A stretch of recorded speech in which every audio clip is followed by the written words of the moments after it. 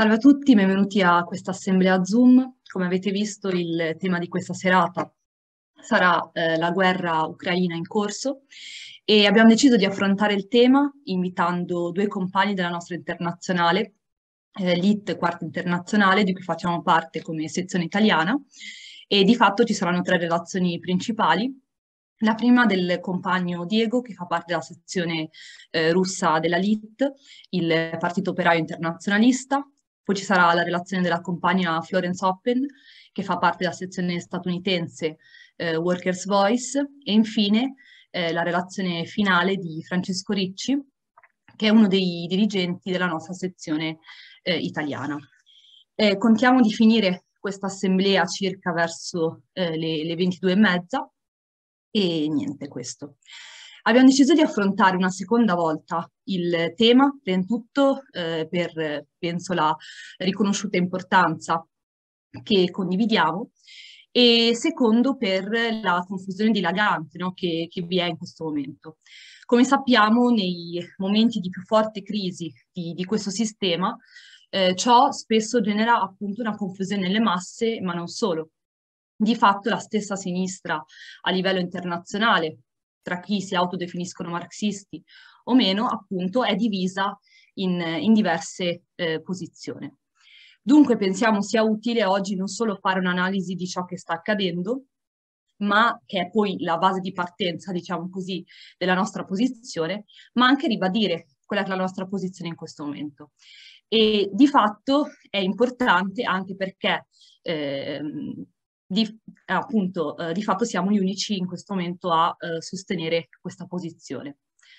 Eh, come sapete la resistenza ucraina sta continuando, seppur Putin si aspettasse appunto di risolvere questa situazione tramite una blitzkrieg o comunque una guerra molto breve, in realtà ha incontrato una resistenza eroica da parte delle masse popolari ucraine e lo stesso governo eh, Zelensky non solo ha avuto difficoltà ad armare eh, le masse popolari, anche quando appunto le armate in realtà eh, con, eh, le armate con molte reticenze. Ma allo stesso tempo, come penso abbiate letto in questi ultimi giorni, di fatto Zelensky si sta preparando a capitolare o comunque eh, si è dimostrato disponibile a trattative a ribasso e a questo possibile accordo eh, con la Russia eh, sui temi appunto delle garanzie di sicurezza, sul, sullo status delle repubbliche del Donbass e poi ovviamente sulla questione della Crimea. A questa resistenza stanno partecipando attivamente anche i lavoratori e anche grazie alle nostre parole d'ordine siamo riusciti ad entrare in contatto con un sindacato indipendente eh, di, di, minatori ucraini che sta partecipando esso stesso alle, eh, alla, attivamente in questa resistenza. Infatti in una recente intervista che, che, abbiamo fatto con loro, il presidente di, questa, di questo sindacato dell'Unione dei, dei minatori eh, indipendenti ucraini, eh, quando abbiamo chiesto quali sono le proposte concrete, ha affermato e ha invitato i lavoratori di tutto il mondo non solo a chiedere la cancellazione del pagamento del debito eh, ucraino, ma anche a richiedere, a pretendere per l'Ucraina una fornitura di aviazioni e di armi. E parto proprio da, da questo suo invito per ribadire quella che è la nostra posizione, che non solo sosteniamo questo appello e anzi crediamo fortemente che le organizzazioni operaie, i partiti, i sindacati debbano diffondere questo appello. Però questo appunto pone in una questione centrale quella che è la questione delle armi e dei, riforni dei rifornimenti di ogni tipo. Um, di fatto in questo momento si tratta di una guerra, però come ben sappiamo, secondo noi, ma anche in realtà secondo Lenin, non tutte le guerre sono uguali. E dunque è necessario, per prendere una posizione contro questa guerra, comprendere il carattere specifico di, di ciascuna guerra. E questa, secondo noi, non si tratta semplicemente di una guerra interimperialista, ma si tratta di una guerra in cui vi è un popolo che sta eh, appunto subendo e sta resistendo eh, contro un nemico di superiorità militare indiscutibile, appunto quello della Russia. Ecco perché l'armamento delle masse popolari ucraine e la loro resistenza è l'unica soluzione che possa effettivamente fermare l'invasione russa e in questo so- senso dobbiamo sostenere attivamente gli sforzi degli ucraini per acquisire appunto armi e rifornimenti per, per potersi difendere. Secondo Lenin, la posizione contro la guerra e il suo risultato non dipendevano semplicemente dal tipo di direzione eh, che la lotta aveva nel paese oppresso, ma dipendeva anche dal carattere specifico dei paesi in conflitto. Dunque, secondo me, e appunto secondo eh, noi, noi marxisti, abbiamo il dovere di difendere il paese oppresso e di collocarci in questo momento nel campo militare, nel suo campo militare, ovvero nel campo militare ucraino.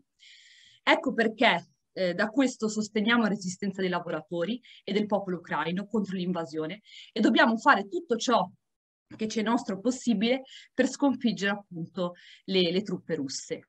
Allo stesso tempo però, questo è utile ribadirlo, collocarci in campo militare eh, dell'Ucraina non significa dare alcun sostegno ovviamente o alcuna fiducia politica al governo Zelensky o a, ovviamente anche la borghese ucraina che essa stessa chiama a resistere a, a questa invasione. Questa posizione ci porta a denunciare dunque tutte quelle organizzazioni che sostengono poi nei fatti questa invasione russa, poiché viene, no, da molte organizzazioni viene posta la Russia di Putin come se facesse parte di un cosiddetto campo progressista o anti-imperialista, che quindi l'azione delle, dell'invasione in realtà appunto è contro l'imperialismo e contro il braccio militare dell'imperialismo che poi è la Nato. Allora, non solo non siamo d'accordo con questa posizione, ma non siamo neanche d'accordo con le posizioni che stanno assumendo ampi settori della sinistra mondiale che rifiutano ad esprimersi contro l'invasione di Putin o prendono appunto addirittura una, posi- una posizione neutrale.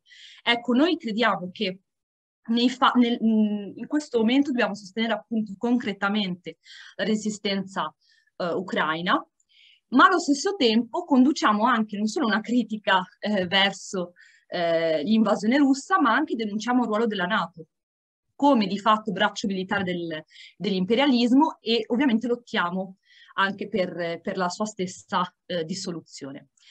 Ribadiamo inoltre con fermezza che la Nato, l'Unione Europea, l'imperialismo europeo eh, l'imperialismo statunitense devono stare fuori dalla resistenza ucraina, poiché come sappiamo benissimo l'obiettivo di queste forze non è sicuramente quello di sostegno al popolo ucraino, quello di sostegno alla resistenza ucraina, ma in realtà un obiettivo puramente imperialista, semplicemente per avere eh, le mani libere eh, nelle, nelle, risorse insomma, minerarie e energetiche eh, del, dell'Ucraina.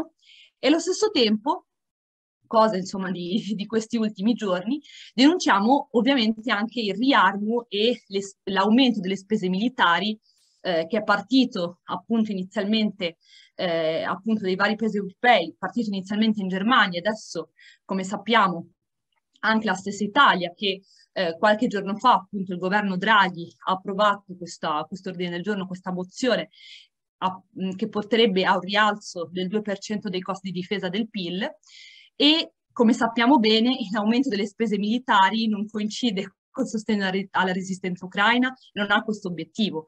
In realtà ha semplicemente l'obiettivo di rafforzare l'imperialismo italiano, di rafforzare quello che è il sistema difensivo ed offensivo del, dell'esercito italiano sotto eh, l'ombrello appunto della, della Nato. Noi dunque crediamo che in questo momento, in questa confusione dilagante, dobbiamo sostenere mh, in maniera limpida, chiara, eh, la resistenza ucraina. Nel concreto promuoviamo mobilitazioni in tutto il mondo per esprimere questo sostegno. Sosteniamo anche le masse russe che si stanno mobilitando contro eh, l'invasione del loro stesso paese, che come sappiamo stanno ricevendo una repressione eh, dal, da parte del, loro, da, dal, dal governo, del governo Putin. Non siamo, come ampi settori della sinistra si stanno dimostrando, contro l'invio delle armi, anzi chiediamo che si inviino le armi, chiediamo che si inviano tutto il materiale necessario, ovviamente senza alcuna condizione eh, da parte dei, dei differenti paesi imperialisti. Siamo totalmente contrari all'ingresso della Nato e denunciamo appunto il suo ruolo come quello dell'imperialismo europeo, quello statunitense, e noi pensiamo che l'unica posizione realmente in questo momento contro la guerra è appoggiare, ehm, appunto come dicevo prima, in maniera chiara la, la resistenza ucraina. L'unica possibile garanzia di pace e indipendenza che si può sviluppare in questo momento è quello di rafforzare le organizzazioni operaie, i sindacati, organizzazioni appunto del movimento operaio eh, in, in, Ucraina e quello poi la sfida centrale che ci poniamo come marxisti, ovvero quello di costruire una direzione. Perché secondo me oggi più che mai notiamo l'assenza, no? il, il, il ritardo che abbiamo proprio nell'assenza della costruzione della direzione. Perché effettivamente l'unica garanzia può essere quella di costruire una direzione, costruire un partito rivoluzionario che sì in questo momento si ponga nel campo militare per cacciare l'invasione russa, ma che poi dica alle stesse masse popolari ucraine di non avere alcuna fiducia nel governo borghese di Zelensky e che dopo deve girarsi e appunto e cacciare il, il governo eh, borghese di, di, Zelensky appunto. E ehm, niente, questo noi pensiamo che eh, debba essere la posizione dei rivoluzionari. Ehm, finisco appunto dando eh, in questo momento invece la, la, la, parola al compagno Diego, che fa parte appunto della sezione eh, russa della LIT, il Partito Operaio Internazionalista, e che verrà tradotto da, da Fabiana.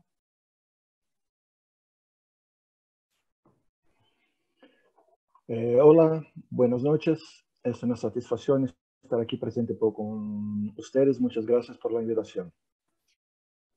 Ci saluto a tutti, eh, buona serata, eh, per me è importante, un onore essere qui a fare una relazione con voi.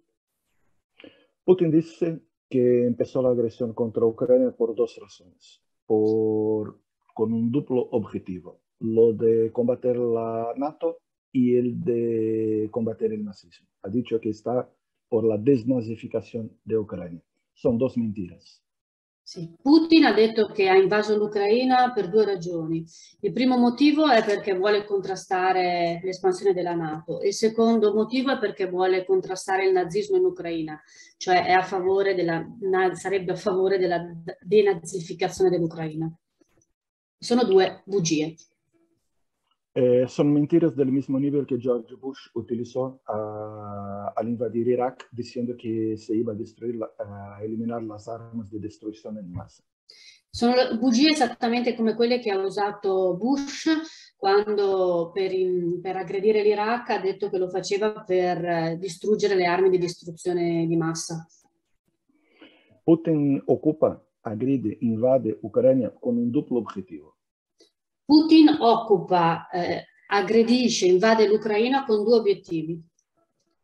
El primer objetivo es recomponer el área de influencia de la burguesía rusa como era en el periodo del antiguo imperio russo.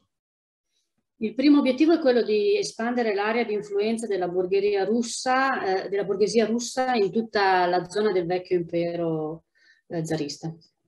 Escuchamos de Putin y de los stalinistas que Ucrania siempre fue parte de dell'impero russo o di Russia. È verdad, infatti, contra su volontà. Sì. sì, sentiamo sempre infatti ripetere da Putin eh, e dai, suoi, dai suoi alleati il fatto che la Russia è parte del grande impero russo del passato. De hecho, Ucrania fue por 300 años parte del imperio ruso, pero contra su voluntad. Esa, bueno. Pero con Per, eh, Ucrania, de hecho, siempre fue parte del imperio ruso, pero siempre contra su voluntad. Ok, eh, dice, è vero in effetti che eh, l'Ucraina è stata parte dell'impero russo per molto tempo, però sempre contro la volontà degli ucraini stessi. Eh, el antiguo imperio ruso era llamado por los marxistas como la cárcel de los pueblos y la revolución de octubre destruye a esa cárcel de los pueblos. L'impero russo è sempre stato definito dai marxisti come il, car il, car il, carcere dei popoli e la rivoluzione d'ottobre è quella che ha distrutto questo carcere. La rivoluzione di ottobre, seguendo la linea di Lenin, dà il diritto all'autodeterminazione di tutte le nazionalità eh, che erano parte dell'antico impero russo. La rivoluzione d'ottobre ha posto al centro il diritto all'autodeterminazione dei popoli di, che facevano parte del vecchio impero russo. Y es así que Ucrania surge por la primera vez como una nación independiente, come un risultato della grande rivoluzione di ottobre. E l'Ucraina è nata come nazione indipendente proprio come risultato della grandiosa rivoluzione d'ottobre. La contrarrevoluzione stalinista hace que se pierda esa gran eh, conquista y construye por política Stalin un nuevo cárcel de los pueblos en lo que era la antigua Unión Soviética. La controrivoluzione stalinista ha di fatto dire, annullato questa conquista e ha costruito un nuovo carcere dei popoli, un nuovo carcere delle masse popolari paragonabile al vecchio impero russo. Y este nuevo cárcel de los pueblos es una vez más derrumbado por las masas en lucha al final de los años 80 contra la restauración capitalista llevada adelante por el propio eh, Partido Comunista. Y así se libertó una vez más a los pueblos que hacen parte de la antigua Unión Soviética. Sì, e tra l'altro questo carcere si è poi anche tradotto nella restaurazione del capitalismo eh, in tutti quei territori, anche all'interno appunto di quei territori che sono stati poi trasformati in un carcere dei popoli da parte dello stalinismo. Pero la nuova borghesia russa, surgida de quadros dell'antico Partito Comunista, che restauraron il capitalismo esattamente per trasformarsi in nuovi burgueses, nunca accettò questo risultato. La borghesia russa, la nuova borghesia russa, quella che è nata di fatto all'interno poi della burocrazia stalinista, non ha mai accettato il fatto che sia stato poi distrutto dalle rivoluzioni nei paesi dell'est, nella stessa Russia, questo carcere no, dei popoli costruito dallo stalinismo. Y Putin llega al poder con el objetivo de reconstruir esa dominación rusa sobre los demás pueblos. E, e, e l'obiettivo di ricostruire questo carcere, diciamo, questa oppressione nei confronti degli altri popoli è proprio il motivo che ha portato poi Putin al potere. Non è una casualità che il governo Putin haya iniziato con la seconda guerra di Cecenia. E, non, è non, è un caso che poi di fatto Putin eh, di fatto è andato al potere grazie in particolare alla guerra in Cecenia. Putin es nombrado primer ministro y un mes después de su nombramiento empieza la Segunda Guerra de Chechenia, donde destruye a Chechenia, su capital Grozny, y esmaga, destruye el movimiento independentista, eh, checheno y, por consecuente, de los demás pueblos del Cáucaso. Sì, eh, eh, con la seconda guerra di Cecenia di fatto Putin ha rafforzato il proprio potere distruggendo no, il popolo ceceno, le masse popolari cecene che lottavano invece per la, per la, loro indipendenza e così ha avviato una politica simile negli altri paesi, negli altri territori della regione. Al mismo tiempo, implementa una política de endurecimiento del régimen dentro de Rusia también, fortaleciendo cada vez más su control sobre Rusia y sobre los países vecinos. Al contempo, parallelamente, portava avanti una politica di rafforzamento no, del regime autoritario interno, sia interno alla Russia, sia poi diciamo, eh, applicato e, e, imposto nelle regioni occupate dalla Russia. Esta política le da buenos resultados por algunos años, en especial durante el periodo del crecimiento económico mundial y el boom del petróleo y del gas.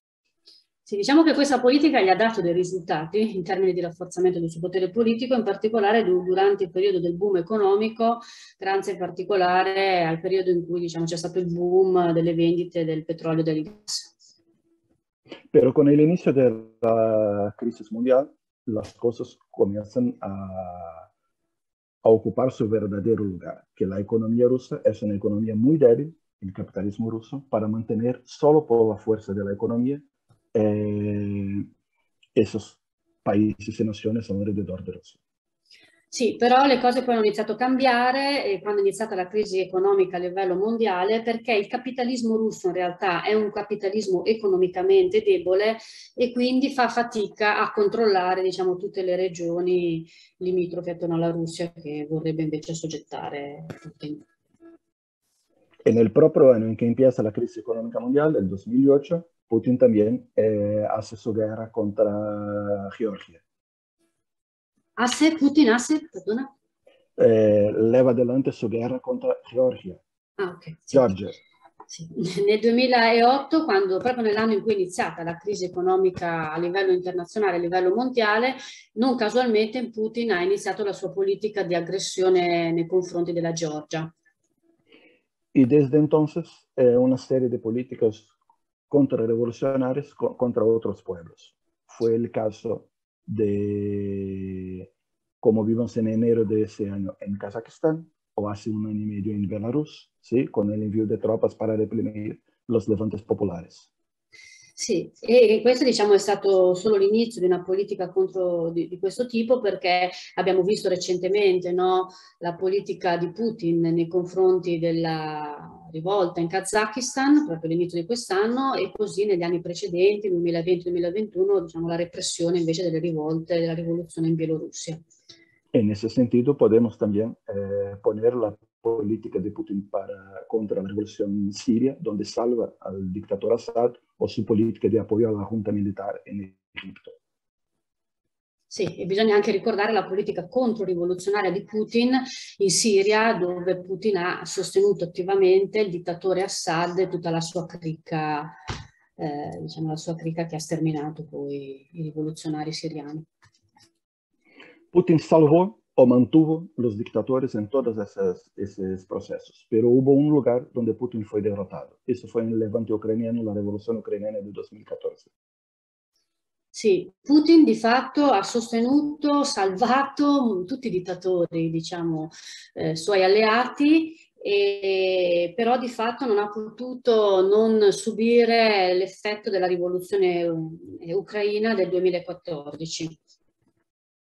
En Ucrania, en 2014, Putin no pudo imponer a su dictador o salvar, como fue con Assad o con Lukashenko en Bielorrusia.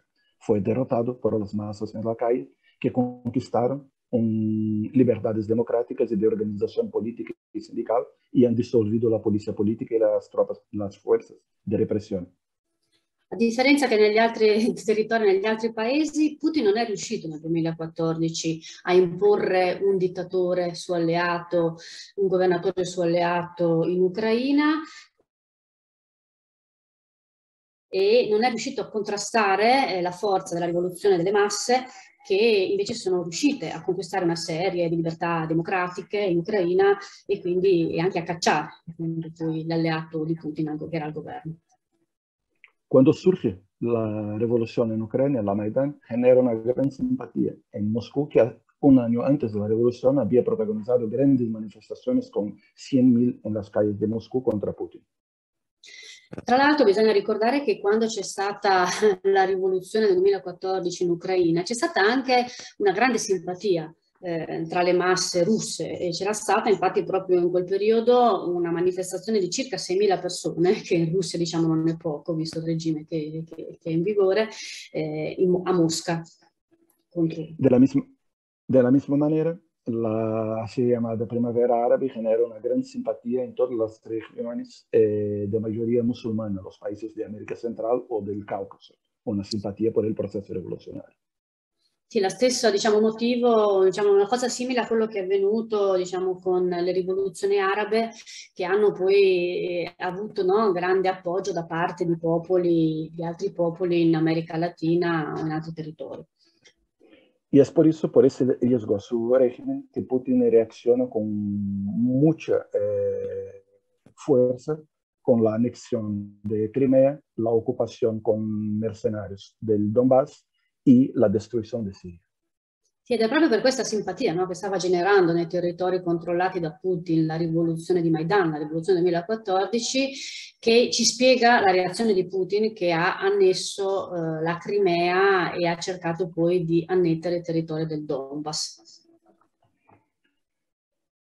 Entonces es eso, la política de Putin es una política en primer lugar, una política contrarrevolucionaria para detener el proceso revolucionario en su zona de influencia y mantener el control de toda essa regione.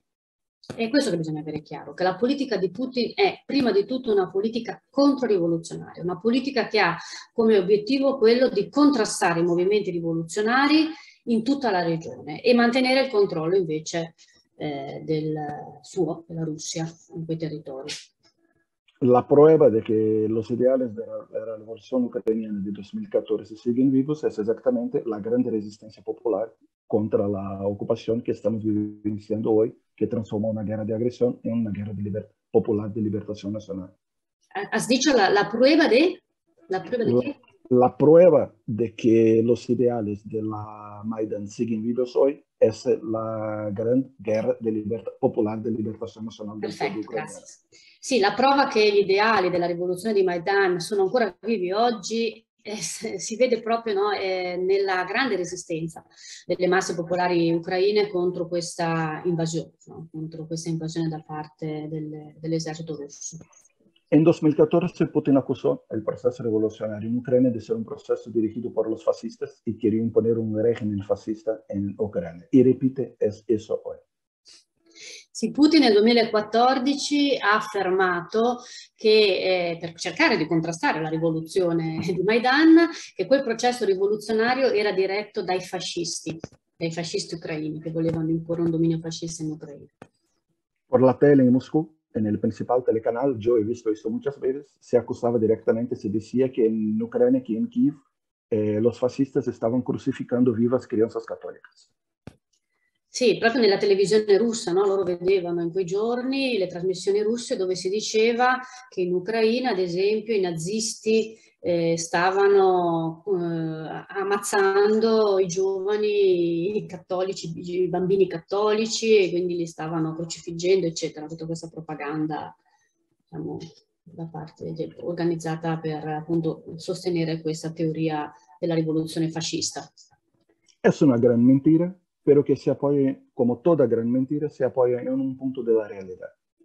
È una grande menzogna, una grande bugia, ma come tutte le bugie no, si appoggia su alcuni elementi di verità. Che è la reale esistenza di gruppi eh, di estrema derecha in Ucraina. Che è il fatto che effettivamente in Ucraina esistono dei gruppi di estrema destra. Questi gruppi sono molto piccoli e, son, su influenza dentro de Ucrania è molto esagerata por, la, por Putin e por los stalinos. Però questi gruppi in realtà sono molto piccoli e la loro influenza sulle masse ucraine è esagerata in funzione propagandista da parte, propagandistica da parte di Putin e dei suoi alleati. Per esempio, en las elecciones de 2019 eh, un candidato unificado de toda la extrema derecha. Eh, recibió 1.6% de los votos. Per fare solo un esempio, nel 2019 ci fu un candidato di tutti i partiti dell'estrema destra e questo candidato ha preso le elezioni l'1,6%. La lista unificata de la extrema derecha para las elecciones legislativas de Ucrania, la Rada, el Parlamento ucraniano, atingió 2%. No eligieron ni uno diputado. Sì, di fatto non sono riusciti ad eleggere eh, ne, nemmeno un, deputato all'interno del Parlamento, eh, diciamo, ucra ucraino. Imagínense comparamos esos números de 1 o 2% con los resultados de la Frente Nacional de Marine Le Pen en Francia o de la Liga, la Liga Norte en Italia o de organizaciones como Vox en España, etc. Tenemos que decir que toda Europa occidental es fascista. Sì, se dovessimo fare così, utilizzare lo stesso, così, la stessa argomenti di Putin, allora dovremmo fare il paragone no, con quello che succede in Francia, con l'estrema destra in Francia, con l'estrema destra in Italia, la Lega di Salvini, Vox in Spagna, che hanno in realtà un radicamento maggiore rispetto anche elettoralmente rispetto a questi partiti di estrema destra ucraniani, ucraini. Pero hay otro argumento, de los que reconocen que de hecho el peso electoral de la extrema derecha es muy bajo, pero la presencia y la influencia de esos dentro del Estado, del gobierno y de las Fuerzas Armadas ucranianas sería muy grande, supostamente. E c'è un altro argomento però utilizzato da Putin, dalla sua propaganda, che dice, argomento in base a cui anche se le percentuali elettorali dell'estrema destra in Ucraina sono molto basse, però eh, i fascisti, l'estrema destra, avrebbero un peso importante all'interno dello Stato, all'interno dell'apparato di governo, eccetera. En especial dentro de las Fuerzas Armadas. Muy... Sopra e soprattutto all'interno delle Forze Armate. Uh -huh. eh, se habla mucho del batallón Azov, un batallón, un escuadrón de extrema de nacionalista de derecha que fue cooptado a la Guardia Nacional Ucraniana. Sì, si parla molto no? anche qui in Italia, poi tra l'altro aggiungo io, di questa brigata di estrema destra che farebbe parte della resistenza ucraniana e che è effettivamente un'organizzazione fascista. Ese Azov surgió en 2014 en la defensa de Mariupol, donde está siendo, están bombardeando hoy, ¿sí? en la defensa de Mariupol, porque las Fuerzas Armadas regulares de Ucrania eran ligadas alla antica dittatura che fu derrumbata per la rivoluzione. Sì, eh, questa brigata Azov di fatto fu, si costituì eh, nel, diciamo, quando c'è stata la, la, l'annessione della Crimea eh, nelle regioni limitrofe, Mariupol e, dintorni, per cercare di contrastare, diciamo, perché l'avevano fatto diciamo, per contrastare l'invasione russa. Ossia la propria esistenza del, del battaglione Azov è il risultato diretto della politica di Putin di annexione, di occupazione del Donbass. E quindi di fatto se si sono rafforzati no, questi gruppi fascisti eh, è proprio per, come risultato della politica di occupazione di Putin delle regioni della Crimea e del Donbass. Putin dice que es la excusa ahora para el bombardeo de Mariupol, que el escuadrón Azov es el responsable por matar la población ruso-hablante de Ucrania. E, adesso Putin sta dicendo che questo battaglione Azov di fatto sarebbe no, eh, responsabile dell'uccisione della popolazione eh, russa, russofona eh, della regione. Ocultas en el hecho de que todos los miembros del batallón Azov son ruso hablantes porque son todos del este de Ucrania. E quello che non dice, che nasconde, è il fatto che tutti, praticamente tutti i membri di questo battaglione Azov sono russi, in realtà parlano russo perché sono delle zone russofone dell'est eh, dell'Ucraina. Se calcula che il battaglione Azov conta con más o menos 800 eh, combatientes, de hecho, de ideología nacionalista de extrema derecha, 800. Si conta che questo battaglione eh, Azov abbia circa 800 eh, attivisti eh, miliziani eh, che hanno un'ideologia di estrema destra nazionalista. Digo todo eso para decir que el peso de la extrema derecha en Ucrania es muy reducido ante cualquier comparación que hagamos. Pero, por supuesto, es un país europeo blanco, entonces existen corrientes de extrema derecha.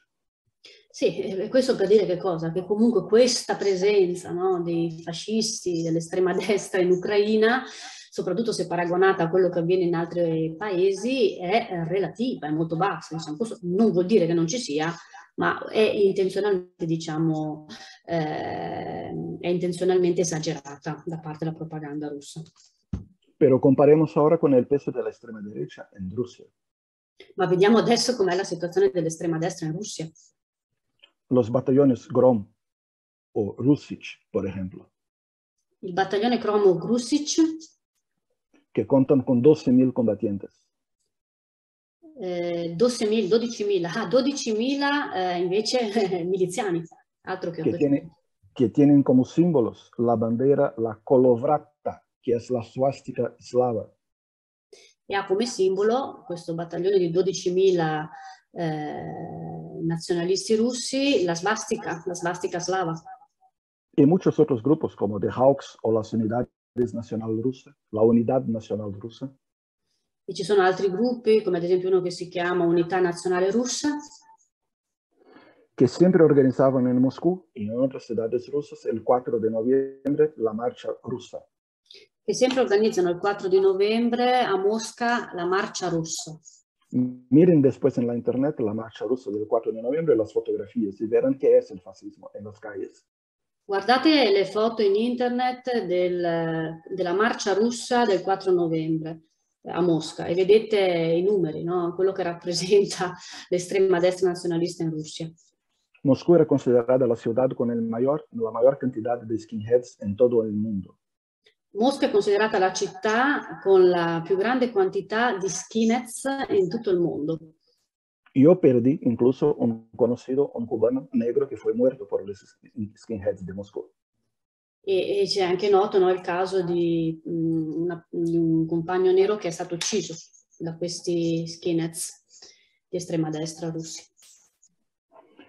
Eh, desde 2014 no hay más skinheads en Moscú, porque se fueron todos a combatir en el Donbass, defender eh, la ocupación, se fueron como mercenarios a combatir en Moscú, en Donbass. En Moscú es absolutamente seguro hoy para los extranjeros. Eh, bene ricordare che dal 2014 però ci sono molti meno nazi skin eh, a, a, Mosca, eh, perché sono, si sono tutti spostati nel Donbass per combattere a favore no, dell'indipendenza delle regioni del Donbass.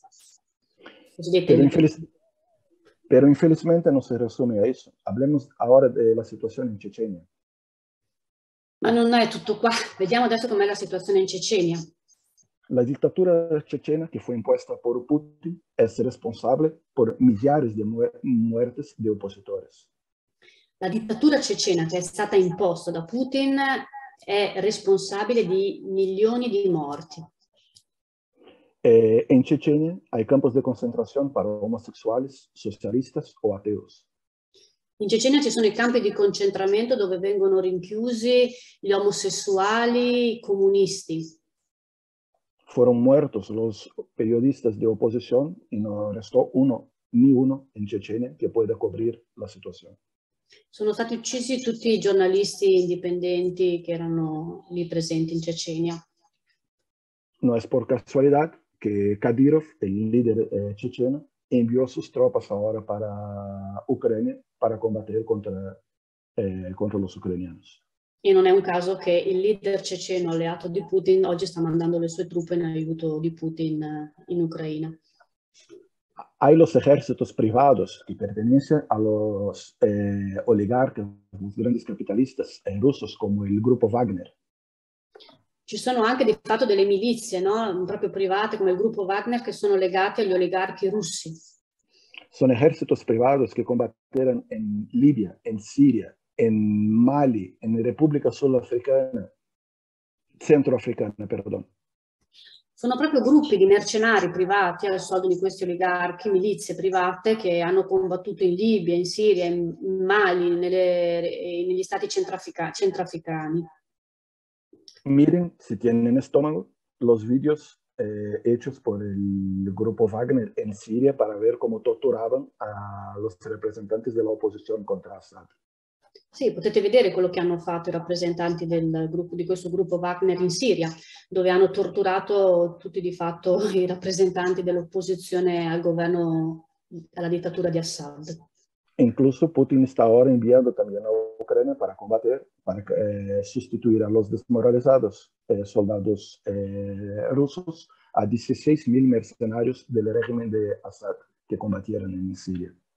E non è un caso no, che oggi Putin sta mandando là in, eh, in Ucraina per sostituire eh, eh, i soldati demoralizzati del suo esercito dei 16.000 mercenari siriani di Assad.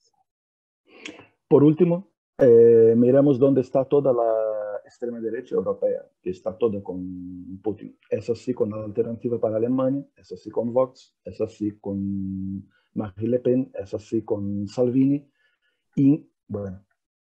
Sì, vediamo poi di fatto cosa ha fatto negli ultimi anni l'estrema destra di tutta Europa, no? Eh, dall'estrema destra tedesca, Vox, Le Pen, ma lo stesso Salvini negli ultimi anni hanno sempre di fatto sostenuto Putin e quindi questa diciamo dimostrazione che non c'è nulla diciamo di antifascista nella politica di Putin.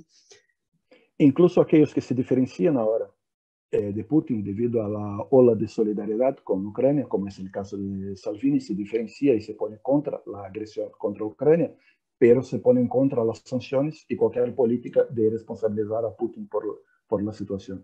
Sì, anche quelli che adesso, no, come Salvini, si differenziano, non dicono di essere esplicitamente a favore dell'aggressione eh, dell'Ucraina, dell'invasione dell'Ucraina, perché sanno che è impopolare, però al contempo no, continuano a non denunciare i crimini di Putin eh, e cercano di ostacolare diciamo, qualsiasi sanzione nei suoi confronti, eccetera. E come ultimo argomento, lo de las exigencias que pone Putin ahora para un cese al fuego con Ucrania. Eh, ¿Puede repetir, por favor? Como último argumento, para decir que es una mentira lo del fascismo, cito a las condiciones que Putin impone para un cese al fuego con Ucraina. Ok, per, come ultimo argomento, no? per dimostrare di fatto quanto sia infondata eh, qualsiasi così, eh, idea che ci sia un tentativo di denazificare o defascistizzare l'Ucraina da parte di Putin, vediamo quali sono le condizioni che vuole imporre Putin all'Ucraina in cambio di un cessate il fuoco. Sono tre condizioni. que, que Ucrania no entre en la OTAN, que Crimea como rusa y reconozca el Donetsk, Lugansk y Donetsk como independientes. Sono tre condizioni che vuole imporre Putin all'Ucraina, che eh, non entri nella Nato, che riconosca eh, di fatto l'annessione della Crimea e che riconosca l'annessione del Donbass alla Russia. E la desnazificazione desapareció de las condiciones. E quindi dove sarebbe questa de denazificazione che doveva essere l'obiettivo dell'invasione russa? Entonces, muchos analistas de la guerra, analistas burgueses, dicen que es muy difícil comprender qué pasa en la cabeza di Putin y comprender sus razones en la guerra. Molti analisti borghesi dicono che è difficile capire cosa passi nella testa di Putin, eh, che cosa voglia, che, cosa, che intenzioni abbia. No es difícil. Putin habló claramente cuál, cuál, cuáles fueron sus razones. Ma in realtà non è così, non è difficile cap eh, capire quali sono le sue intenzioni, anzi lui è stato molto chiaro nell'esprimere le sue intenzioni. Dijo que Ucrania no tiene derecho a existir como una nación independiente y que eso fue un absurdo de Lenin y de los bolcheviques.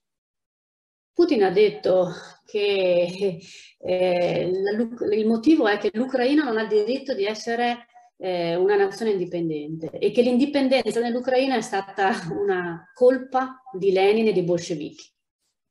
E che per eso su política es, y dijo con esas palabras, la descomunificación de, Rus de Ucrania, o sea, se le quite il diritto a se autodeterminare in quanto nazione.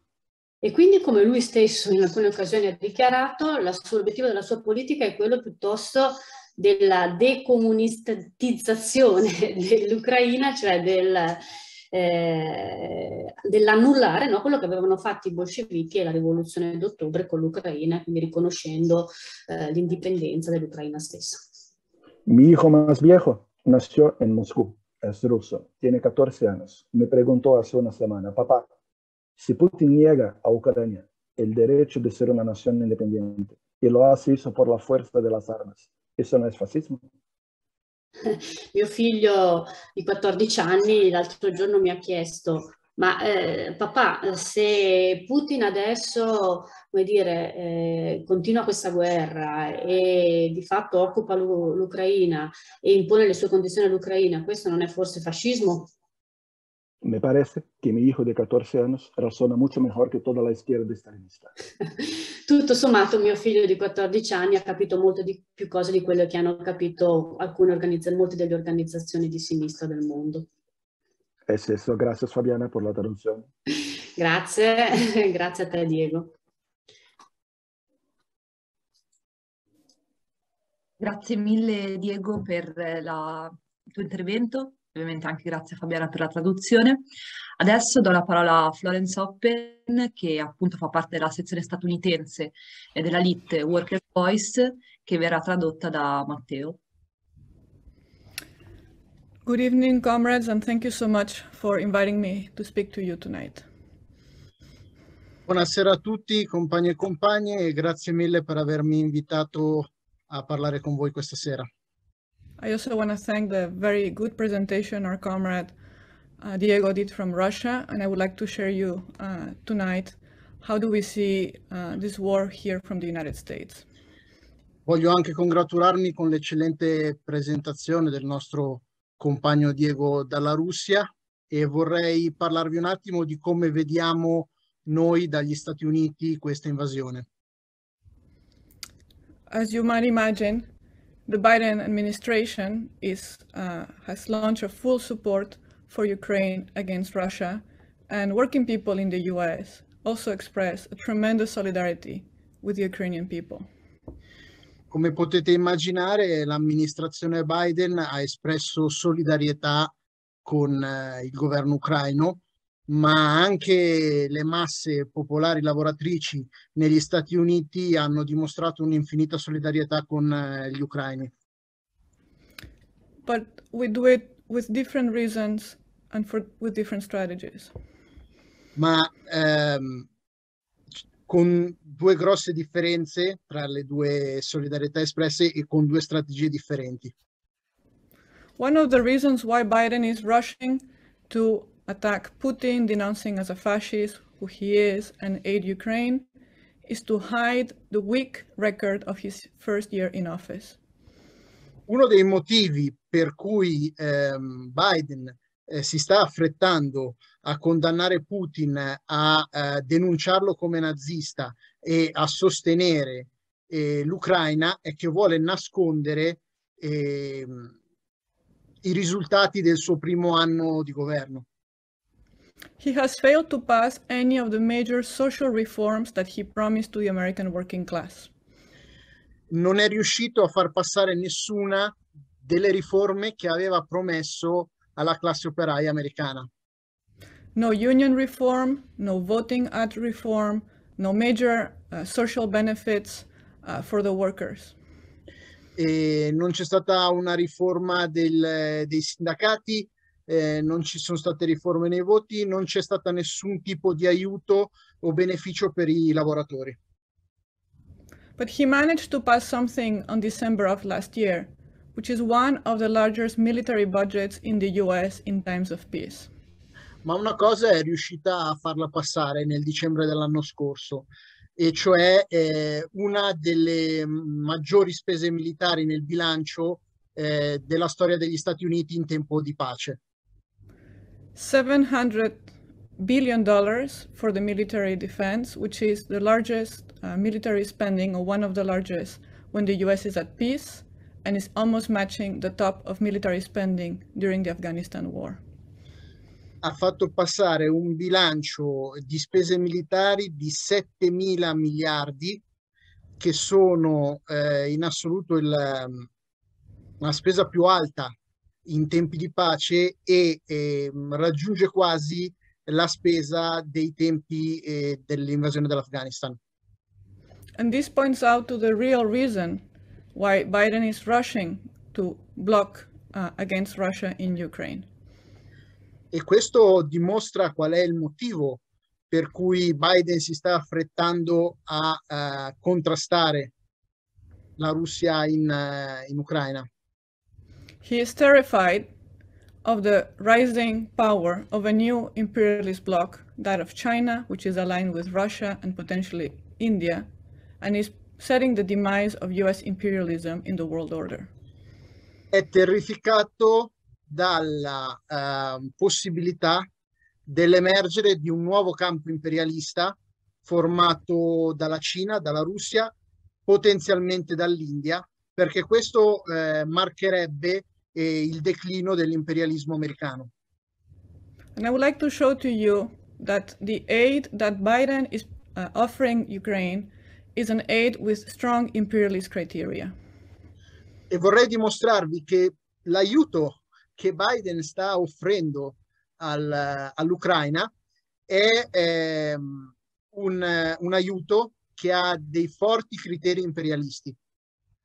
The first of it is that still today the Biden administration refuses to grant refugee and asylum status to all any Ukrainian refugee that wants to come to the United States. La prima eh, cosa è che l'amministrazione Biden ancora oggi non sta offrendo nessun tipo di facilitazione eh, per i rifugiati eh, ucraini per entrare negli Stati Uniti. The second thing I would like to share with you is the unprecedented sanction or economic war that, that Biden is raging against Russia. Eh, la seconda cosa sono le eh, misure, le sanzioni senza precedenti che Biden sta um, indirizzando contro la Russia. He has cut Russia from the world banking system. He has blocked oil exports. He has frozen foreign assets in Russia. Allora, ha um, tagliato fuori la Russia dalla banca, uh, dal sistema bancario mondiale. Um, ha bloccato uh, le esportazioni di olio e, um, sorry, can you repeat the last one? Frozen the foreign assets okay. in Russia. Ha congelato uh, gli investimenti stranieri in, in Russia. He has also blocked any technological exports to Russia.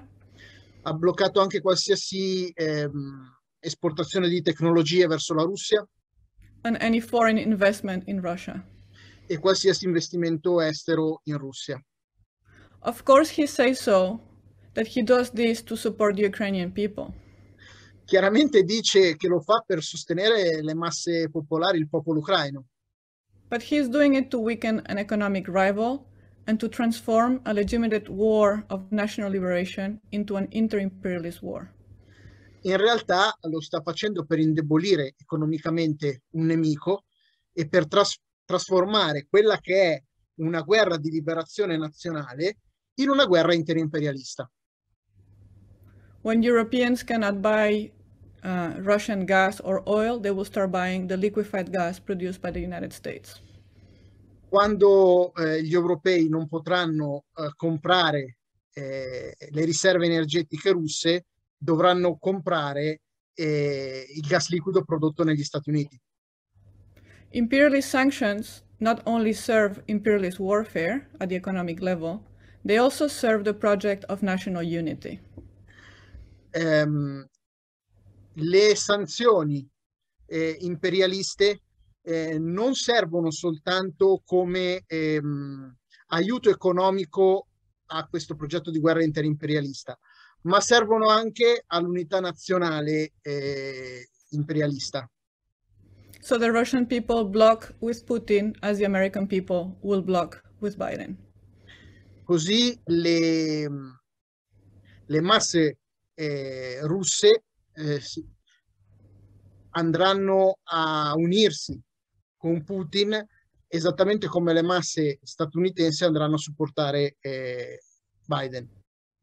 But we Marxists, in our unconditional defense of the Ukrainian people against Russia, we defend a strategy of class independence and working class solidarity. Ma invece noi marxisti, eh, in fermo sostegno delle masse, della lotta delle masse popolari ucraine, sosteniamo questa resistenza con una strategia diversa che è la strategia internazionalista delle, della, della classe operaia. So we don't support imperialists, but we actively organize and support workers' boycotts and strikes against the invasion. E quindi non, soppor- non supportiamo le sanzioni imperialiste, ma ehm, organizziamo e sosteniamo eh, la lotta attraverso scioperi e contro ehm, l'esportazione delle, merci, delle merci russe e la, ehm, l'invasione militare. Let me tell you also about the content of the military aid package to Ukraine. Parliamo anche del contenuto effettivo di questo fantomatico eh, aiuto militare che viene mandato alle masse ucraine. $13.6 billion have been voted in US Congress to aid Ukraine. Sono stati eh, votati 31 miliardi e mezzo dal, con, dal congresso amerita- americano per aiutare l'Ucraina. A third of it is full humanitarian aid, which of course we support. Un terzo di questi sono aiuti puramente umanitari che eh, noi non contrastiamo. Another third is direct arms to Ukraine, which of course we support. Un altro terzo è ehm, di eh, armi eh, per l'Ucraina, che anche questi noi non li, non li contrastiamo. But the last third is direct money to put more US troops in Europe to build up NATO. Ma un terzo è diretto a mh, schierare più truppe eh, americane in Europa e a fortificare la NATO. To increase intelligence service and CIA agents in the region. Per intensificare eh, i servizi di intelligence militari e la presenza della CIA nella regione. To further counter espionage and to support economic sanctions. Per eh, finanziare il controspionaggio e so sostenere le sanzioni economiche. And the problem is that the bipartisan packet was voted as a packet. If you wanted to help Ukraine, you had to support NATO buildup and US military imperialism. E questo pacchetto eh, era un pacchetto unico che ha ricevuto un supporto bipartisan all'interno del, del Parlamento americano. E quindi se volevi aiutare le, eh, le masse ucraine, il popolo ucraino, dovevi accettare anche ehm, il, for- il, il rafforzamento della NATO. So that is the true policy of Biden. It is a terrible blackmail to the American working class. E questa è la vera politica di Biden ed è un uh, terribile ricatto contro la classe operaia americana. If you want to defeat Russia, you need to expand NATO. Se volete sconfiggere la Russia, dovete espandere la NATO. And in, within this project, there is no room for the national independence of the Ukrainian people. E all'interno di questo progetto non c'è nessun tipo di spazio per l'indipendenza delle masse popolari ucraine. Because we're also opposed to Ukraine becoming a semi-colony of NATO and the US. Perché noi ci opponiamo anche alla trasformazione dell'Ucraina in una semicolonia degli Stati Uniti e della NATO. Now let's talk a little bit about NATO now. Parliamo un attimo della NATO ora.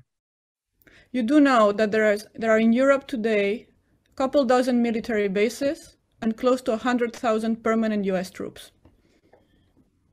Sapete che ci sono eh, diverse dozzine di basi eh, militari americane in Europa e ci sono diverse eh, decine di migliaia di truppe americane. You also know that since the dissolution of the Soviet Union, NATO has expanded to 14 new countries. Sappiamo anche che dal momento della dissoluzione dell'Unione Sovietica eh, la NATO si è progressivamente espansa in altri 14 paesi. And we do know that the expansion of NATO, which is a military alliance, is the expansion of European and US imperialism in the region. E sappiamo perfettamente che l'espansione della NATO, che lo ricordiamo è un'alleanza militare, significa eh, l'espansione dell'imperialismo statunitense e degli imperialismi eh, europei nella regione. For the last decade, the budget of NATO has increased every year. Negli ultimi eh, dieci anni eh, il bilancio, eh, la spesa della NATO è cresciuta di anno in anno. From 2022 to next year, it would increase 8%. E da qui all'anno prossimo, dal 2022 all'anno prossimo, ehm, aumenterà eh, 80 8, del, 8. dell'80% 8. e dell'8%, scusami. That was decided before the invasion of Ukraine. Questo era stato deciso già prima dell'invasione dell'Ucraina. That is to say that in the worst so pandemic, social crisis and economic crisis, the military budget of NATO went up 8%. E quindi questo vuol dire che eh, durante eh, la crisi economica e pandemica il bilancio della Nato era già previsto aumentare dell'8%. Since the war began, we have 8,000 more NATO troops in the region. Da quando è iniziata questa invasione abbiamo 8.000 unità delle truppe della Nato in più nella regione. And today, Jens Stoltenberg, the Secretary of NATO, announced more troops. E oggi eh, Stoltenberg, eh, a capo della Nato, ha eh, annunciato l'invio di ulteriori truppe. More battalions will be sent to Hungary, Bulgaria, Romania, and Slovakia, most of the countries bordering Ukraine. Molte truppe saranno inviate eh, nei paesi che sono al confine della, dell'Ucraina, eh, Bulgaria, eh, Romania, Ungheria, eccetera. We are thus in the face of a complicated war.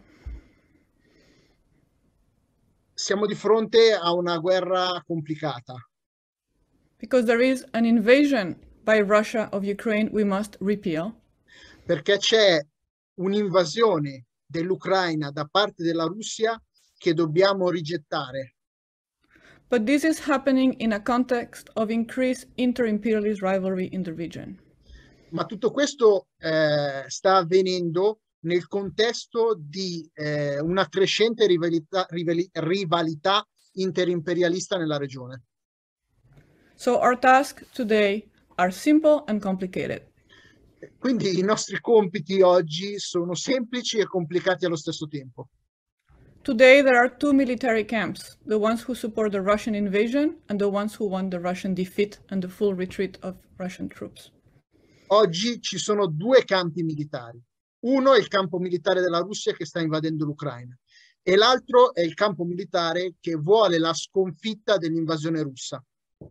And we, of course, are fully on the military camp against the Russian invasion. E noi chiaramente siamo pienamente e convintamente all'interno del campo militare che vuole la sconfitta dell'invasione russa. Which demands here in the United States to demand not only the retreat of Russian troops, but the right of Ukrainian people of self-defense and bear arms and procure arms to defeat the Russian army. E qui negli USA concretizziamo questa rivendicazione, questa parola d'ordine, non solo con la sconfitta eh, militare eh, dell'invasione russa, ma anche col diritto eh, delle masse popolari ucraine all'autodeterminazione e ad avere eh, le armi per difendersi dall'invasione. But inside our camp, our military camp, we have two strong social political pressures of reformism. Ma all'interno del nostro campo militare abbiamo due forti elementi di pressione da parte del riformismo. The first one is social patriotism, Il primo è il, so- il socialpatriottismo, which is to support US imperialism in order to support the Ukrainian people. che sostanzialmente è eh, la richiesta, la, sottintesa di supportare eh, l'imperialismo statunitense per sostenere le masse popolari ehm, ucraine. This pressure translates into the support for imperialist sanctions, for a no-fly zone, and more NATO troops. Questa pressione si concretizza nel sostegno alle sanzioni imperialiste, alla richiesta eh, di una no-fly zone e all'invio di nuove truppe della Nato. And that's why, inside that camp, we politically explain that that is not the solution and we must remain politically independent of US imperialism.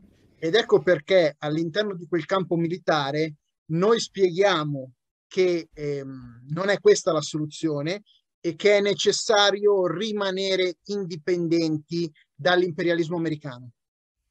We cannot and will not march with sectors that support direct military invasion in Ukraine.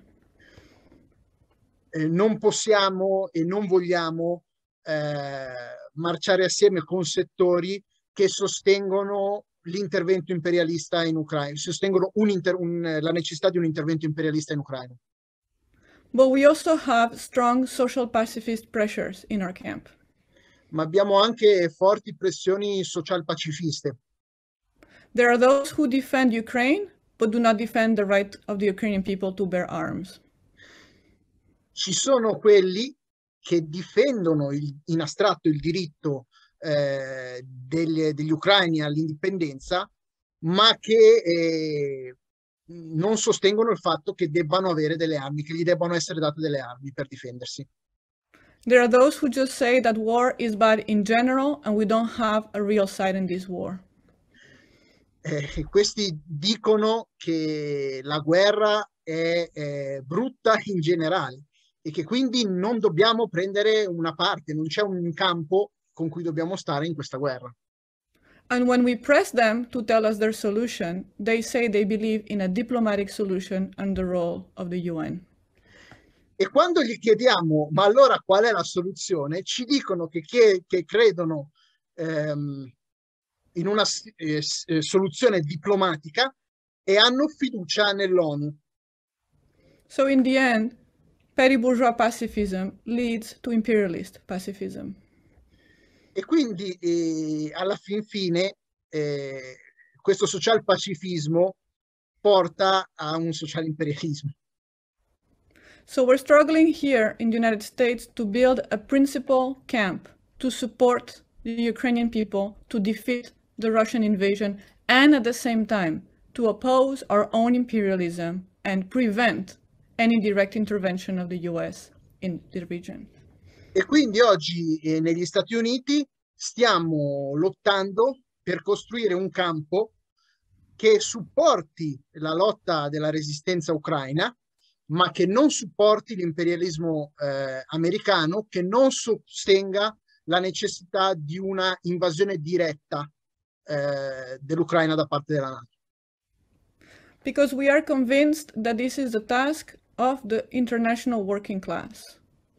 Perché siamo convinti che questo sia il compito della classe operaia internazionale. And of course, we want to support till the end the resistance of the Ukrainian people.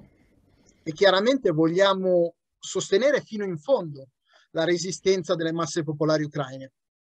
But we also know that the defeat of the Russian invasion and the prevention of NATO imposition will be the result of the mobilization of the working people in Russia, in the United States and in Europe. Ma sappiamo anche che la sconfitta eh, dell'invasione militare russa e ehm, eh, l'impedire eh, un intervento diretto della Nato può essere il risultato solamente della mobilitazione della classe operaia ehm, in Russia, negli Stati Uniti e in Europa. The defeat of Russia in Ukraine will be worked through and organized by the working class all over the world. La sconfitta eh, dell'invasione militare russa in Ucraina può essere il risultato solamente eh, di uno sforzo coordinato della classe operaia in tutto il mondo. So we have a common strategy and a common program, but we will have sometimes different tactics in different countries. E quindi abbiamo uno stesso programma strategico, ma avremo eh, degli approcci tattici differenti nei diversi paesi. So today's war in Ukraine reminds us that we cannot get a way out, a working class solution to this problem without building an international organization. E quindi eh, questa guerra oggi in Ucraina ci ricorda che non saremo in grado eh, di trovare eh, una soluzione senza costruire un'organizzazione internazionale rivoluzionaria. This is why this meeting today is so important and this is why I want to thank you for the invitation and I just want to listen to what the Italian comrades have to explain to us. Ed ecco perché eh, penso che sia molto importante l'incontro di questa sera eh, sono molto contento di essere qui, contenta di essere qui e eh, voglio sentire cosa hanno da dire eh, anche i compagni italiani.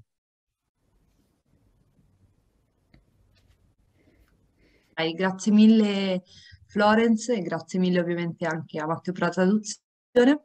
Adesso c'è la relazione finale eh, di Francesco Ricci, che è uno dei dirigenti della nostra sezione eh, italiana appunto del, del PDAC. Lascio la parola a lui. Sì, uno che se ne intendeva di questioni militari, un generale prussiano piuttosto famoso, von Clausewitz, che è stato molto studiato dai dirigenti marxisti, da Lenin, eccetera, diceva la guerra è la continuazione della politica con altri mezzi. Lenin riprendeva spesso questa frase intendendo dire che quindi, durante la guerra, i rivoluzionari non rinunciano alla lotta di classe e all'indipendenza di classe. Però possiamo aggiungere che questa frase vuol dire anche un'altra cosa, che i riformisti continuano durante la guerra, così come durante la pace, a essere subalterni alla borghesia e ai governi borghesi.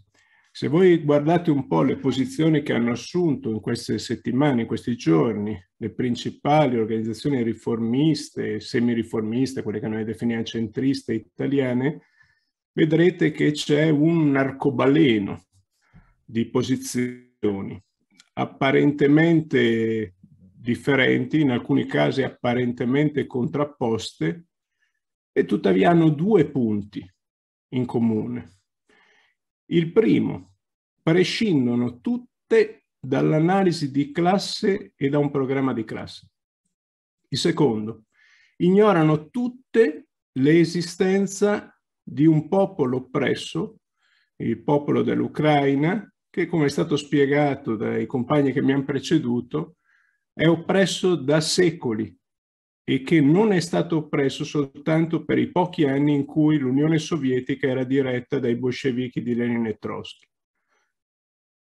Vediamole un po' queste posizioni, provo a riassumerle anche per cercare di capire quali sono le differenze fra quello che noi proponiamo e le posizioni che sono espresse dalla gran parte del movimento operaio, dell'organizzazione della sinistra in Italia, ma anche internazionalmente. Diciamo che c'è un primo gruppo, che sono quelli che potremmo definire fiduciosi nel dialogo, nel dialogo fra i popoli, così lo chiamano e sono, chi sono? I partiti riformisti che hanno sostenuto negli ultimi 15-20 anni i governi borghesi, cosiddetti progressisti, e che sono disponibili, laddove ce ne fosse la possibilità, a tornare a fare questa stessa cosa nei prossimi anni. La loro proposta è di delegare la soluzione della questione ucraina alla borghesia. Per questo invocano l'intervento dell'ONU quella che Lenin definiva nella sua versione anteriore, no? la società delle nazioni, un covo di briganti imperialisti che ha coperto in tutti questi decenni tutte le guerre e in qualche caso addirittura si spingono a chiedere l'intervento dei caschi blu, cioè dei militari dell'ONU, come se fosse un problema di colore dei caschi, come se non sapessimo cosa hanno fatto i caschi blu ad Haiti, nella ex Jugoslavia, in Bosnia, le occupazioni militari, gli stupri. C'è un secondo gruppo che io definirei dei pacifisti puri, cui alludeva anche la compagna Florence adesso nel suo intervento. Sono quelli che rifiutano la guerra in generale, quelli che dicono le armi chiamano armi. Se si inviano armi alla resistenza dell'Ucraina ci saranno più morti.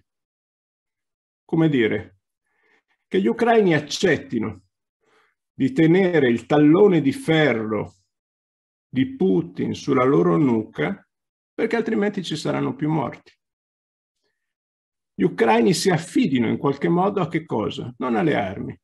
E cosa rimane se non ci sono le armi in una resistenza? La preghiera. E badate che non è una battuta questa. I cremaschi di Pap, Acerbo, segretario di rifondazione, non fanno altro in questi giorni che richiamarsi al cosiddetto Santo Padre, al Papa, alla preghiera, perché non rimane nient'altro. È chiaro che se in una resistenza togli le armi, l'unica cosa che possono fare gli ucraini è pregare, pregare. Ovviamente anche noi siamo per la pace, il problema è che siamo in un sistema che vive di sfruttamento, di guerre, di oppressione di alcuni paesi. Si chiama imperialismo. Finché non avremo disarmato la borghesia, non è possibile, noi pensiamo, noi diciamo, non è possibile gettare le armi, purtroppo. Per questo noi pensiamo che ci siano anche sì guerre giuste, i marxisti pensano che sì, ci sono anche delle guerre giuste la guerra civile, ad esempio. La guerra civile è un passaggio ineludibile di una rivoluzione ed è una guerra giusta. Le guerre di indipendenza dei popoli oppressi, sì, sono delle guerre giuste. C'è un terzo gruppo, è una schematizzazione la mia chiaramente, e sono quelli che io definisco i leninisti per equivoco. Sono quelli che dicono e ci ripetono e ci ricordano che per i marxisti l'unica patria è il mondo intero, la patria è il mondo intero, come diceva giustamente Marx. Il minimo che si può dire di questi leninisti è che non hanno letto un rigo di Lenin sull'imperialismo, su quanto Lenin diceva e distingueva fra il nazionalismo degli oppressi e il nazionalismo degli oppressori. Un quarto gruppo, in questa mia schematizzazione, lo definirei degli anti-imperialisti per equivoco. Sono quelli che ci spiegano che Zelensky è un amico dell'imperialismo. Cosa vera. E che aggiungono che quindi chi difende l'indipendenza dell'Ucraina sta facendo il gioco della CIA, dell'imperialismo, degli Stati Uniti. Proviamo a mettere alla prova questa teoria. Se ogni volta che in una guerra di classe, se ogni volta che in una guerra di un popolo oppresso un settore imperialista interviene per strumentalizzare la lotta, secondo questa teoria, i comunisti devono starne fuori. E siccome, come sappiamo dalla storia dell'ultimo secolo, quasi sempre, di fatto sempre, l'imperialismo interviene per cercare di usare una lotta per i suoi fini, l'unica cosa che rimane, secondo questa teoria, è appunto la preghiera, del Papa. Se la direzione non è rivoluzionaria, ci spiegano, se la direzione di una lotta non è rivoluzionaria, i rivoluzionari non devono partecipare. Il problema è che questa teoria porta a un cortocircuito, perché i marxisti hanno sempre pensato che la direzione rivoluzionaria non sorge spontaneamente nelle lotte, deve essere costruita. Questo è il compito per cui esistono i marxisti. Non è quello di fare per dirla con Marx, la critica critica delle lotte, ma intervenire nelle lotte per costruire un'altra direzione. Proviamo a fare qualche esempio, più lontano e più recente. Pensate a voi quello che è successo in Russia nel 1917. Nell'agosto del 1917 un generale golpista, Kornilov, minaccia di fare un golpe contro un governo che era stato istituito da una rivoluzione, dalla rivoluzione che di febbraio. Un governo borghese, tuttavia, secondo i comunisti russi, secondo i bolscevichi. Il governo di Kerensky. Proviamo a applicare il loro schema al 1917. La direzione della lotta contro il golpe era una direzione borghese. Applicando questo schema bisognava astenersi dal partecipare alla lotta contro Kornilov. Cosa fecero invece i bolscevichi di Lenin e Trotsky? Dissero noi appoggiamo il fucile sulla spalla di Kornilov, di Kerensky, cioè del governo borghese, spariamo contro Kornilov e poi regoleremo i nostri conti con Kerensky. Badate che non è che l'hanno scritto in qualche testo, è quello che, che hanno fatto. Se non avessero fatto così, i bolscevichi non avrebbero mai guadagnato la maggioranza dentro gli organismi di lotta dei lavoratori, non ci sarebbe stata la rivoluzione d'ottobre. Non ci sarebbe stata la rivoluzione d'ottobre. Su questo non riflettono questi presunti leninisti. Ma proviamo a fare un esempio a noi più vicino, quello della resistenza nel 43-45 in Italia. L'imperialismo anglo-americano intervenne in quella lotta e come si intervenne. E offrì il suo sostegno, e metto sostegno fra molte virgolette, perché è esattamente come il sostegno che sta dando oggi Biden e la Nato all'Ucraina, era un sostegno fasullo, un sostegno finto alla resistenza. Tuttavia stavano in quel campo militare lì. Cosa avrebbero dovuto fare i, i partigiani, i comunisti? Applicando questa teoria, avrebbero dovuto astenersi dalla lotta. In effetti ci furono, attenzione, due posizioni nel periodo che va dal settembre del 43 alla cosiddetta liberazione, che poi tanto liberazione non fu. C'era una posizione maggioritaria a sinistra che era quella degli stalinisti, di Togliatti, che diceva dobbiamo accodarci all'imperialismo anglo-americano perché nel frattempo Stalin, Churchill e Roosevelt avevano diviso il mondo in zone di influenza e l'Italia doveva stare sotto l'ombrello degli Stati Uniti. E quindi dissero ci dobbiamo alleare all'imperialismo, accodarci all'imperialismo, accodarci alla borghesia italiana, erano disponibili persino a sostenere la monarchia in Italia, perché non c'è altra possibilità e quindi trasformare la resistenza in quella che chiamarono un secondo risorgimento che portò alla ricostruzione dello Stato borghese italiano, a riconsegnare in mano agli Agnelli, alla Fiat, ai padroni in Italia lo Stato che era in mano in realtà a 300.000 operai armati. Questa fu una delle posizioni. cioè stare nella resistenza, animare la resistenza, ma subalterni alla borghesia e all'imperialismo. Poi c'era un'altra posizione ultra minoritaria, che era quella dei gruppi, diciamo così, para-bordighisti. È sempre meglio mettere un para, perché il povero Amadeo Bordiga, diciamo, non c'entrava molto con queste cose e tanto meno c'entra con gli attuali bordighisti.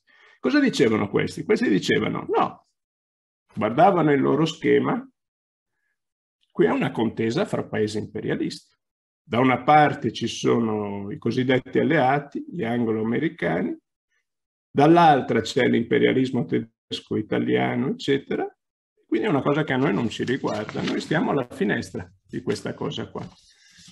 C'era tuttavia una terza posizione, che è quella che sostennero purtroppo ultraminoritari perché schiacciati dallo stalinismo, dal fascismo, dalla borghesia, i trotskisti.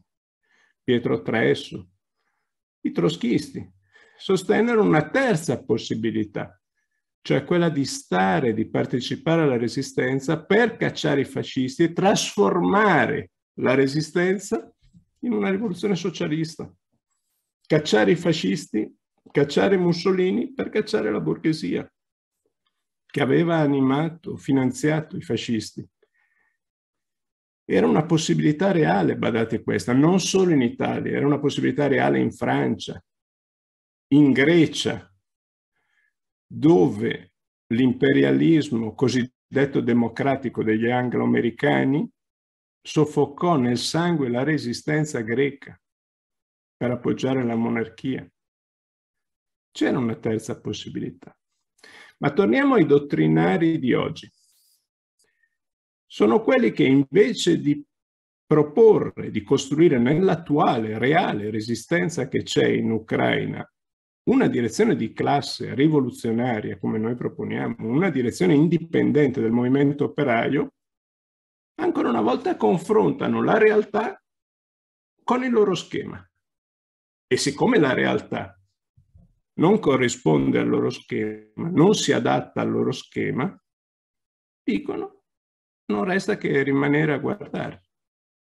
Nel frattempo, ovviamente, mentre stanno a guardare, non smettono di fare la loro guerra. Con chi la fanno la loro guerra? Col PDAC, con la LIT. Basta guardare i siti, i giornali di queste organizzazioni. Il grosso della loro polemica non è in realtà con l'imperialismo, né con Putin, è con noi. È con la posizione dei rivoluzionari, è con noi che polemizzano. La loro guerra è contro i trotskisti. E ci sono in questo campo quelli che io definisco i trotskisti per equivoco. Un'organizzazione che si contraddistingue in Italia in questo senso è la SCR, la IMT. Polemizzano con chi sostiene la resistenza e con chi sostiene che bisogna armare la resistenza, perché le resistenze si fanno con le armi, non si fanno con le parole. In realtà questa posizione che loro hanno maschera il fatto che non vogliono scontrarsi con i loro veri amici. I loro veri amici sono la famiglia Castro a Cuba, quelli che noi chiamiamo Castro-Chavisti, il regime del Venezuela e così via. La cosa più grottesca, per questo io li chiamo trotskisti per equivoco, è che danno a tutto questo una copertura presuntamente troschista, marxista, tra molte virgolette. Arrivano persino a citare un grandissimo internazionalista rivoluzionario, Karl Liebknecht, che fece con Rosa Luxemburg la rivoluzione nel 18-19 fu ammazzato da un governo che loro probabilmente avrebbero sostenuto, un governo delle sinistre. Carl Liebknecht diceva, è la frase molto nota, no? Il nemico principale è nel proprio paese. Cosa intendeva dire Carl Liebknecht? Intendeva dire che quindi i marxisti durante la guerra non sospendono la lotta di classe, e cercano di trasformare la guerra militare in guerra civile, in guerra contro il loro governo, la loro borghesia. Loro interpretano tutto questo dicendo questa stessa frase, quello che succede in Ucraina non è affar nostro. Noi ci occupiamo del nemico in casa nostra. In uno degli ultimi articoli in cui polemizzano con la nostra posizione dicono indipendenza dell'Ucraina. Ma l'Ucraina non è un paese indipendente, dipende dall'imperialismo europeo e dagli Stati Uniti. Guardate, è un capolavoro di logica. Dato che un paese è dipendente, perché dovrebbe lottare per l'indipendenza? Sembra il paradosso di cui parlava quel libro famoso un po' di anni fa, cui è entrato anche un film, Comma 22, che diceva chi è pazzo può chiedere di essere esentato dalle missioni di volo, ma chi chiede di essere esentato dalle missioni di volo non è pazzo, è un, cane che si morde la coda. In quest'ottica qua esiste solo un ragionamento di tipo binario, on-off, come si dice nel linguaggio dei computer. Ci sono solo due possibilità. Possibilità 1, scegliere di stare o con Putin o con la Nato. Possibilità numero 2, stare alla finestra in attesa della rivoluzione pura. Questo è quello che ci propongono, diciamo, questi pseudo-troschisti. Noi dobbiamo dire loro che c'è anche una terza possibilità, perché come diceva l'Amleto di Shakespeare al suo amico Orazio, ci sono più cose tra cielo e terra, caro Orazio, di quante ne comprenda la tua filosofia. Ci sono più cose fra cielo e terra. C'è anche un'altra possibilità fra queste due che loro ci offrono, una terza, è quella che attuarono Lenin, Trotsky, i marxisti da sempre. Durante la prima guerra mondiale Lenin diceva noi stiamo con l'indipendenza dell'Irlanda contro l'imperialismo inglese, anche se l'imperialismo tedesco cerca di usare la lotta degli indipendentisti irlandesi per i suoi fini. Nella, nella, guerra del 37, che inizia nel 37, fra la Cina e il Giappone, Trotsky diceva noi stiamo con la Cina, diretta da Chiang Kai-shek, che è stato il massacratore dei comunisti delle comuni di Canton di Shanghai. E stiamo nel suo campo militare, continuando ovviamente l'opposizione a questo governo per prepararci poi a rovesciarlo cioè costruire la direzione rivoluzionaria nelle lotte reali. Questo è quello che contraddistingue i marxisti. E veniamo alla nostra posizione di oggi, che è già stata ampiamente illustrata dai compagni che mi hanno preceduto. Noi siamo con la resistenza dell'Ucraina, senza per questo interrompere per un solo minuto l'opposizione a Zelensky, che sì, è un servo della Nato, dell'imperialismo americano, europeo, che si prepara probabilmente a capitolare nei prossimi giorni e nelle prossime settimane, a sacrificare il sacrificio del suo popolo che sta resistendo. E siamo lì per costruire una direzione rivoluzionaria che possa, dopo aver sconfitto l'invasione della Russia, regolare i conti con Zelensky. Per questo esigiamo armi alla resistenza dell'Ucraina, perché le resistenze si fanno con le armi, si fanno con le armi. E le esigiamo da chi? Dai falsi amici dell'Ucraina, che mandano solo, come è stato detto da chi mi ha preceduto, solo ferri vecchi. Anche il governo italiano, come è emerso nei giornali dei giorni scorsi, sta mandando che cosa? Gli scarti dell'esercito italiano li manda all'Ucraina, perché hanno paura che il proletariato ucraino si armi. Di questo hanno in realtà paura. Senza per questo difendere e interrompere la nostra opposizione all'imperialismo, l'opposizione alle politiche di riarmo del governo Draghi. È stato detto da Ines nell'introduzione, 104 milioni al giorno per il riarmo, milioni di euro al giorno per il riarmo dell'Italia, mentre non trovano soldi per la scuola, per la sanità, lo sfascio. Certo che combattiamo contro la Nato e continuiamo e non interrompiamo la nostra opposizione, la battaglia per la distruzione di questo patto di guerra e di morte che è la Nato.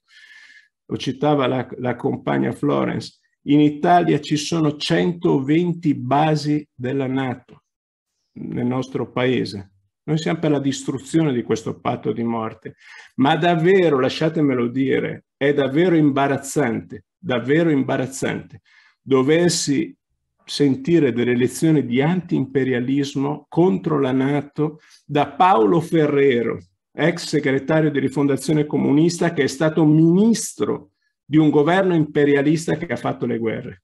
Badate, è veramente imbarazzante dover sentire delle lezioni in questi giorni da Paolo Ferrero su cos'è l'antiimperialismo. Noi combattiamo anche contro, come diceva Flores, i possibili scenari di guerra mondiale che ci stanno sullo sfondo, ma lo facciamo da rivoluzionari, basandoci sull'indipendenza di classe del movimento operaio. E quindi diciamo cosa significherebbe oggi una vittoria della resistenza in Ucraina? Significherebbe molte cose importanti, non solo per gli ucraini. In primo luogo sarebbe un impulso gigantesco alle lotte dai paesi che sono oppressi dalla Russia, ne parlava Diego, tutta quell'area oppressa dalla Russia di Putin. Potrebbero, se la resistenza ucraina vince, fare domani i conti con Putin. Sarebbe un aiuto gigantesco al proletariato russo che è schiacciato sotto il tallone di ferro del presunto antifascista Putin che mette al bando, sì, i sindacati, le organizzazioni del movimento operaio in Russia, che manda la polizia contro le manifestazioni, contro i manifestanti che manifestano contro la guerra di Putin all'Ucraina. E sarebbe anche la possibilità, l'unica possibilità perché il proletariato ucraino possa fare domani i conti anche con Zelensky. Servo della Nato, sì, servo dell'imperialismo europeo, sì, e sarebbe una spinta soprattutto per il proletariato di tutto il mondo, anche per noi. Sarebbe la dimostrazione che è possibile, al di là di quello che dicono i disfattisti, è possibile, sì, è possibile che il proletariato armato di un paese possa non solo difendersi, ma vincere anche contro una grande potenza militare come oggi la Russia, la seconda potenza militare del mondo. Ma guardiamo un po' quello che succede in queste ultime settimane, in questi mesi, in questi ultimi due anni in realtà. Guardiamo alla realtà mondiale, compagni. Ci cantavano le lodi di questo sistema. I riformisti ci dicevano, basta che andiamo noi a governare, governeremo diversamente questo sistema. Basta cambiare il governo alle prossime elezioni. Oggi vediamo che cosa abbiamo di fronte. La distruzione del pianeta, nuove pestilenze, una miseria crescente, le guerre, la possibilità di una nuova guerra mondiale, tutto questo ha un nome, è il capitalismo. E il capitalismo noi possiamo combatterlo soltanto costruendo un partito, un'internazionale rivoluzionaria, un partito mondiale della rivoluzione. Oltre cento anni fa nel pieno del macello della prima guerra mondiale i rivoluzionari dicevano, diceva Lenin, diceva Trotsky, stavano, potevano essere contenuti tutti in due carrozze di treno. Nel 1938, alla vigilia della seconda guerra mondiale, i rivoluzionari, i trotskisti, fondavano la quarta internazionale, sotto i colpi incrociati del fascismo, delle borghesie cosiddette democratiche e dello stalinismo. In entrambi i casi il primo compito che si sono dati i rivoluzionari è stato quello di costruire il partito, di costruire l'internazionale. E quanto cerchiamo di fare noi oggi, la Lega Internazionale dei Lavoratori, la LIT, in tutti i continenti. Come vedete, gli ringraziamo della presenza stasera di un compagno eh, che ha diretto la nostra sezione in Russia, de, della compagna Flores che dirige la nostra sezione negli Stati Uniti. Tuttavia a questo punto in generale arrivano gli scettici e ci dicono sì, ma tutto questo è difficile, è un compito impossibile. La resistenza in Ucraina non può vincere contro il secondo esercito più grande del mondo. E allora noi chiediamo, ma scusate, ma perché in Vietnam non si è vinto contro il più grande, non il secondo, contro il primo esercito imperialista del mondo. E non è la storia di tutte le rivoluzioni. La storia di tutte le rivoluzioni degli ultimi due secoli. Non è la storia di popoli, di proletari che si battono e anche vincono, sì, anche vincono contro lo strapotere degli eserciti, delle potenze del, capitalismo, dell'imperialismo. Non è questa la storia di tutte le rivoluzioni? Trotsky diceva degli scettici questo. Diceva, gli scettici non servono per cambiare le cose. Gli scettici non servono per cambiare il mondo. E poi aggiungeva col suo solito umorismo, in realtà, ben pensando bene, gli scettici non servono a niente a questo mondo. E concludeva, ogni rivoluzione sembra impossibile finché non diventa inevitabile. È una lotta terribilmente complessa, compagni e compagne, quella che noi cerchiamo di portare avanti.